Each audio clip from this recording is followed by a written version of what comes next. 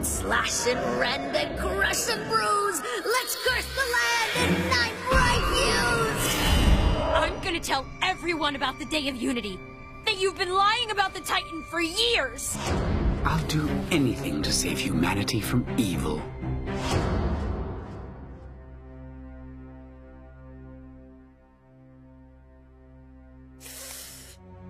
This is just a lot to take in. We don't have time to take anything in. We have to stop Belos. I, I was a part of his plan. I, I fell for everything. King, Hooty, you know what to do. well, one thing's for sure. People can tell when you've been inside their head. It's only a matter of time before Belos sends his scouts over here. You need to hide. I am not hiding. I'm gonna stop Belos from completing the draining spell. I just need to figure out how. Edalyn!